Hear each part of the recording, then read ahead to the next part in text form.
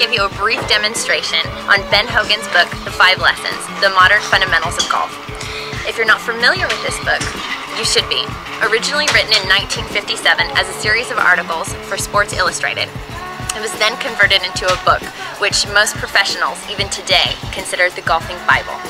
So let's start with lesson number one, the grip.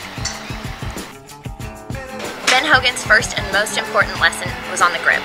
To establish a proper grip, begin with your club at the proper address position. The back of your left hand should be facing the target.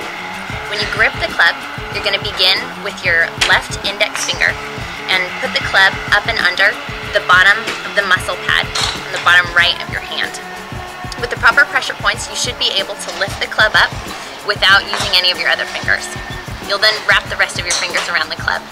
And with your right hand, you'll be placing the club in the four fingers on the end of your hand. Uh, your main pressure points are going to be the two index fingers in the middle. That'll go right under your other hand and you should be able to interlock them as shown. When completed, the V from your thumb and your index finger should be pointing at your chin. So it should look just so. Ben Hogan also spends a lot of time emphasizing the importance of a waggle.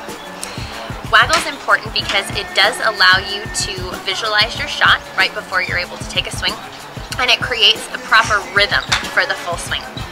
So in order to do so, you just kind of place your elbows in your sides and give it a light swing back and forth, just a couple feet through the ball. Been playing since I was three years old and been practicing Ben Hogan's fundamentals from day one. So here's a few samples of my swing. Here's a 9 iron.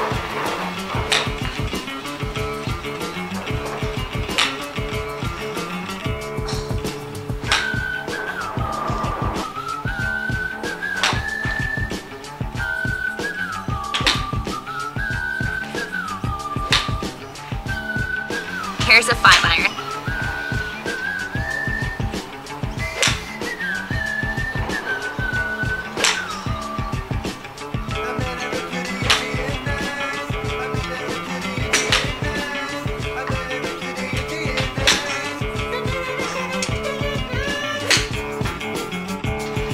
Here's a driver.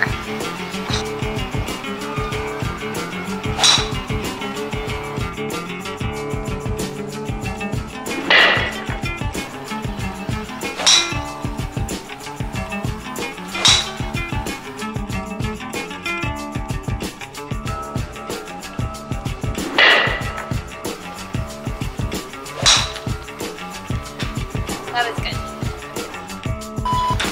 Hogan also spends a lot of time emphasizing the importance of a waggle. Emphasizing. What I say? Emphasizing. okay. For the bloopers. okay. Go.